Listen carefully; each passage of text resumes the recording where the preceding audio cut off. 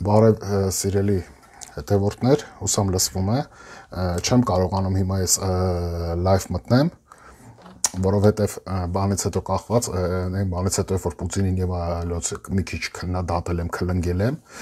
Facebook-ը որոշել է ինձ զրկել այդ հնարավորությունից եւ մոտակա 2 ամիսը չեմ կարողանալու լայվ մտնեմ։ Դրա համար ես այդ ամեն ինչը նույնը կանեմ Լեոն Նազարյանի հետ միասին նրա edge-ից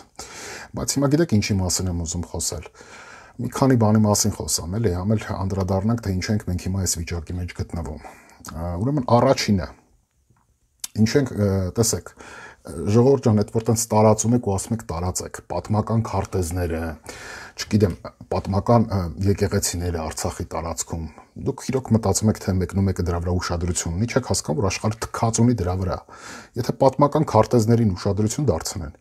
ապա այսօր Իտալիան պետքա լիներ մոտավորապես 10 անգամ ավելի մեծ, քան թե հիմա կա։ Այսօր Գերմանիան երկու անգամ մեծ կլիներ իր ունեցած չափերից։ Ամերիկայի Միացյալ Նահանգների արևմտյան մասը կպատկանային Մեքսիկային եւ այլն եւ այլն եւ այլն։ Հասկացեք, սա մեր համարացավ։ Աշխարհը սրա վրա կարա մենակ իր մտահոգություն հայտնի եւ վերջ։ Եկեք մի քիչ հասունանանք այդ ամեն ինչից դուրս գանք։ Երկրորդը, ինչի մասին հիմա ես կուզեմ խոսել, դա նրա մասին է, որ ինչու մենք եկանք այս վիճակին, եկեք մի հատ sense նայենք, էլի 25 տարվա մեջ մենք խոսում ենք որ պարտվեցինք, որովհետև քիչ զենք ունենք եւ այլն։ Այո, դա այդպես է, բայց դա ոչ միայն այդքան է։ Դա է պատճառը։ Պատճառները ավելի խորքային են։ Ասես մի հատ օրինակ բերեմ։ Սկսած 1994 թվականից ամեն տարի Հայաստանից 6 հատ կուրսանտ գնացել են սովորել են Հունաստանում։ Երբ որ ես 1998 թվականին գնացի բանակ, մեր Վաշտի հրամանատարը եւ կողքի երկրորդ Վաշտի հրամանատարը հենց այդ Հունաստանը ավարտած կուրսանտներն էին, ովքեր լեցենանտ էին։ Կարամ ազգաններն ասեմ, մեր Վաշտի հրամանատարը Վազգեն Սարգսյանի մորակրոջ որդի Վահան Աղաբեկյանն էր, ով հիմա բնակվում է Ամերիկայի Միացյալ Նահանգներում, իսկ երկրորդ Վաշտի հրամանատարը Արտուր Զախրաբեկյանն էր։ Ուրեմն երբ որ այս այս տղաներն են խոսում զինվորական մարտական պատրաստությունից եւ այլն, երբ որ խոսում են մասկիրովկի բանի մասին, այն մնացած Ռուսաստանում, Հայաստանում սովորած սպաները բերանները բացած սրանց էին նայում։ Այսինքն տարբերությունը գիտելիքների ստացած սար ու ձորեր էր։ Հիմա ես մի հատ հարց եմ ուզում տալ։ Այս 20 20 25 տարվա մեջ, եթե բազմապատկենք 6-ով, մոտավորապես պետք է մի 150 հատ մենք սպա ունենայինք, ովքեր կրթություն են ստացել Հունաստանում, քանի հոգի կա Հայաստանում, քանի հոգի դրանցից գեներալ կա։ Մենակ մի հոգի կա, մնացածը հասնելով փոխգնդապետի աստիճանի հետո թողել դուրս են եկել։ Ինչու, որովհետև հասկացել են, որ դրանց այնյան արդեն լրիվ ծանոթ բարեկամ սկզբունքն է առաջ գնալու ու նրանք տեղ չունեն, չեն կարողանալու ավելի առաջ գնան։ Նույնը դիվանագիտական կորպուսի մասին։ Այն որ Վարդան Օսկանյանը եւ այլն եւ այլն sense խոսում են, sense կանենք, նենց կանենք, Այդ հարց եմ ուզում տալ 94 թվականին, երբ որ ես ընդունվեցի Հայաստանի Պետական Ճարտարագիտական համալսարան, մեր խմբում մի հատ տղա կար։ Շատ յուրահատուկ տղա էր, ով միջև 4-րդ կուրսը լիկվիդներով էր սովորում։ Ով չգիտի, Հայաստանի Պետական Ճարտարագիտական համալսարանը հիմիկվա պոլիտեխնիկն է։ Ուրեմն շատ ուսանողներ են լիկվիդ ընկել, հարցը դա չի, բայց 4-րդ կուրսում լիկվիդ ընկնելը, երբ որ ուսանողը արդեն դասախոս է կարելի ասել ընկեր է, սա մեծ սպეციფიկ հատկություն պետք է ունենաս, որ կարողանաս։ Մի խոսքով, մենք սա խմբող բոլոր ամբողջ խնդրել ենք դասախոսներին, որ սրան լիկվիդ չդնեն, թողեն պետական քննություն հանձնի, դիպլոմայինի պաշտպանության, դիպլոմայինի աշխատանքի գծագրերը մենք ենք գծել, որ անցնի վերջանա։ Շատ լավ հիշում եմ, ամսի 14-ին հունիսի դիպլոմայինը պաշտպանեցինք, 16-ին մեծ մեծ մասս պետքա բանակ գնայինք։ 15-ին հավաքվեցինք ամբիոնում։ Տղաների բոլորի գլուխը թրաշած էր։ Ну, ով որ բանակա գնում կհասկանա։ Բացի Արտուրից։ Պարզեց որ Արտուրը բանակ չի գնում, քանի որ ազատված է։ Հետո երբ որ բանակից եկանք, պարզեց որ բոլորս գործենք մանգալի, անգործենք։ 98 թվականը հենց Վարդան Օսկանյանի ժամանակն է։ Արտուրը աշխատում է արտգործնախարարությունում։ Դրա համար էլ այսպես վիճակ, դրա համար էլ 20 տարուց ավել Հայաստանի Հանրապետության դիվանագետները ոչ թե զբաղվել են երկրի շահերը սпасարկելով, այլ զբաղվել են մեծամասամբ իշխող քրեաօլիգարխիկ կլանի շահերը սпасարկելով։ Փողերի լվացում, անշարժ գույքի ձեռքբերում եւ այլն եւ այլն։ Այդ դրա համար այս վիճակին են գտնվում։ Իսկ ինչ արել Ալիևը։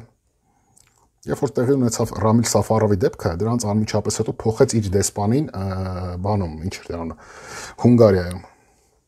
Այդ դեսպանը 2-3 տարի աշխատեց, բավակ օգնեց, որպիսի Վիկտոր Օրբանի կուսակցություն հաղթի ընտրություններում։ Հետագայում նրա հետ արդեն արքուվար վաճառքի գործարքի մեջ մտան ու Ռամիլ Սաֆարովին բերեցին Բաքու ով ա եղել Լոս Անջելեսում Հայաստանի հյուպատոսը Սերժի ժամանակ։ Գործարար Սարգիսովը, ով բնակվում է Ֆրանսիայում մշտապես միլիարդ հատեր ավելի շուտ, ով 3-4 տարվա մեջ մի անգամ ամենակ այցելել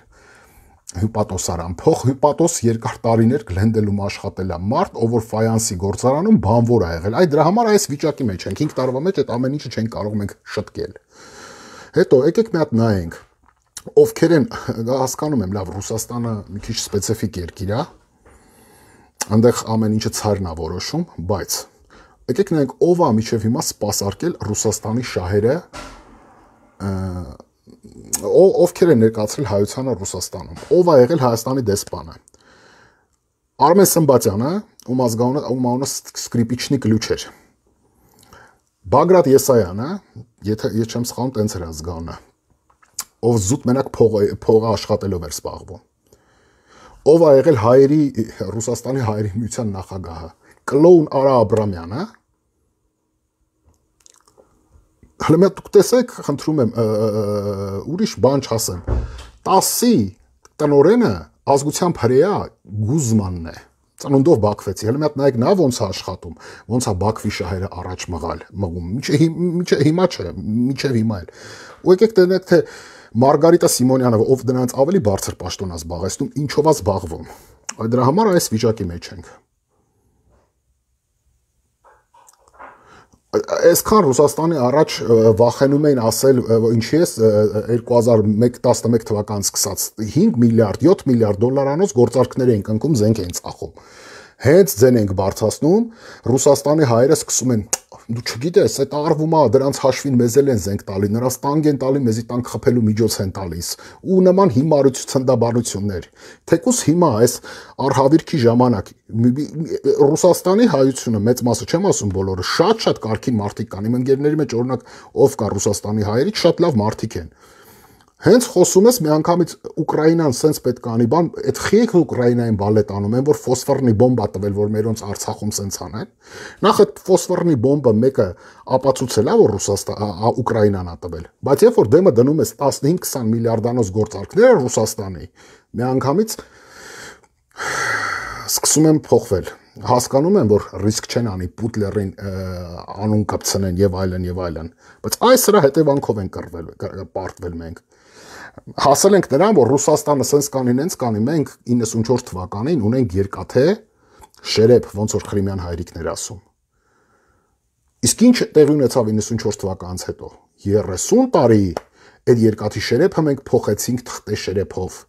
Զենքը զինամթերք ու բանակը Մենք փոխեցինք պայմանագրերով, հույսս դրել հույսներս դրել ենք ռուսների վրա, որ մեզ կօգնեն, մեզ կփրկեն, էս կանեն, են կանեն։ Մի հատ հարց եմ ուզում տալ, հետո մի իմիջայլոց այս մասին չեմ խոսել, շատ շատերը գիտեք, թե ոնց եմ ես վերաբերվում օրինակ Լևոն Տեր-Պետրոսյանին։ Բայց Լևոն Տեր-Պետրոսյանի կողմնակիցները արդեն զզվցրեցին, թողեցին, նա ձեզ զգուշացնում էր, նա որ ասում էր, չէիք լսում, ես եք անում։ Ես մի հատ հարց եմ ուզում տալ, եթե այս սխալը աներ, ուրիշ ինչ որ մեկը ձեն չի անի։ Ես ինքս լավ գիտեմ պատմություն ու կարող եմ վստահ ասել, իմ իմացածը Լևոն Տեր-Պետրոսյանի մոտ դա զրոյական է։ Այդ մարդը պատմությունը հայ ժողովրդի գիտի ուղնուծուցը ծայրից ծայր։ Հիմա ու ոչ միայն հայ ժողովրդի համաշխարհային պատմությունը նույնպես։ Հիմա մի հատ հարց եմ ուզում տալ։ Պարոն Տեր-Պետրոսյան, դու պատմության մեծ գիտակ կամ լավ Տեր-Պետրոսյան չէ, նրա կողմնակիցներին եմ ասում։ Ինքդ գիտեիր, որ Ռուսաստանը դա նորմալ երկրների նման չի, որտեղ գոյություն ունեն պետական ինստիտուտներ, որ Ռուսաստանը դա մի մարդու իշխանություն է ժամանակին ցար, հետո գենսեք, հիմա էլ նախագահ է կոչվում, բայց էլի նույնն ավանդույթը։ Ու դու հասկացել ես, որ ամեն անգամ եւ այդ երկրում ղեկավարը փոխվել է, երկրի քաղաքականությունը եղել են դեպքեր, որ 170 170 աշճանով շեղվել են միանգամից։ Եկատերինայից հետո Պավել առաջին եկավ ինչ էր, այնի Պրուսիային չոքացրել էր, Պավելը հակառակը սկսեց ուժեղացնել։ Չեմ ուզում օրինակներ շատ բերել, սովետի ժամանակ վերցնենք Ստալինը ինչ էր անում, Խրուշչովը լրիվ հակառակը, Գարբաչովը լրիվ հակառակը, Ելցին դու պետք է այդքան հասկանայիր։ Ոնց դու բերեցի ռուսական բազան տեղադրեցիր Հայաստան ու Հայաստանի ստրկացումը Ռուսաստանի կողմից դու հիմքը դրեցիր։ Ախր շատ լավ գիտես, որ Ռուսաստանը ընկերություն անում մենակ փորձում անել Իրանից ուժեղների հետ կամ իր հավասարների հետ, օրինակ Չինաստանի հետ։ Հյուսիսային Կորեայի հետ իսկ մնացածին, հատկապես նախկին սովետական երկրներին, նա երբեք իրան դաշնակից չի համարել, նա իրան ստրուկը համարել։ Ոնց բերեցիր ես մեզ սրա մեջ մցրեցի, հիմա այլ կողմնակիցներն էլ այ թող ես հարցին պատասխանեն։ Ոչ թե զբաղվեն Լևոն Տեր-Պետրոսյանի մեծ արումով եւ այլն եւ այլն եւ այլն։ Մեկ էլ չեմ հիշում, ասել եմ թե չէ, մի հատ էլ ասեմ, ուրեմն հիմա արդեն կադրեր են գալիս, երբ որ ադրբեջանցիների հետ, արցախցիների, մեր հայրենակիցների հետ Շարասյունից սելեկտիվ կերպով մարդկանց են բռնում ու ստիպում են, որպիսի հայտարարություններ անեն, որ ամեն ինչ լավ է, գոհ են, որ Խանքենդիից են գնում եւ այլն եւ այլն։ Մարդիկ են հայտնվում, այդ մարդկանց գրում են, արա սրանց անախ ու հաց հլը սենց հնայի, ոնց են ասում եւ այլն եւ այլն։ Այդ մարդկանց ուզում գիտեք ինչ ասել, դե այդ կներես էլ այդ մարդիկ քո դուխը չունեն։ Եթե դες դուխով մարդ ես, ես ափսոս անհավատ եմ, բայց ցանկանում եմ դու լինեիր այդ մարդու տեղը, ավտոմատը դնեն երեխուդ վրա, ասեն սես բան պետք է ասես, թե չէ մատաղ եմ անելու ոտի տակ։ Դրանամ ինչ էիր խոսալու։ Դրանամ ո՞նց էր հլնելու Մեհրիբան Ալիևի Ալիևայի քֆուրքյաֆարանը ես։ Չի կարել էլի, հասկանում եք ինչ եմ ուզում ասել ու էդ էլ ասեմ, ադրբեջանցիները, որ այտենց նկարներ են համ, դա եթե խելոք ձևով մենք կարողանանք մեր իշխանությունները հետագայում աշխատեն, կարան Ադրբեջանին հաշիվ ներկայացնեն։ Այդ նույնը արել են գերմանացիները 40-ական թվականներին կամերաների տակ գերմանացի զինվորները կանֆետներ էին տալիս հрья երեխաներին։ Այդ ամեն ինչը պահվում է, բայց ես չգիտեմ խի վստահ եմ, որ այս ամեն ինչից հետո Հայաստանի իշխանությունները որոշել է դե լավ, եկեք խաղաղության դարաշրջանը շարունակենք, ոչ մի պատերազմ։ Չլինի խաղաղություն, առևտուր եւ այլն եւ այլն։ Ու այդ ամեն ինչի մասին մոռանա։ Եթե թեկուս մոռանա, Ալեքսանդր Լապշինը շատ ճիշտ բան ասել։ Այդ մարդկանց կոչ արել իր ամբողջ ունեցվածքի փաստաթղթերը, բաները պահել եւ դատի տալ Եվրոպայի այդ մարդու իրավունքների դատարան Ադրբեջանին պահանջել փոխհատուցում։ Հուսամ տենց կլինի։ Ну այսքանը ժողովուրդ ջան, եթե հարցեր բաներ կլինեն, խնդրում գրեք անպայման ես կպատասխանեմ ձեր հարցերին ու կխնդրեմ տարածեք այս վիդեոն։ Շնորհակալություն։